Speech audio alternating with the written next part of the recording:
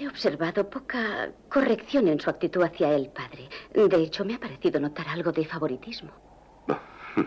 Naturalmente, me gusta ver a un chico capaz de defenderse solo. Fuera de aquí, el mundo es del más fuerte.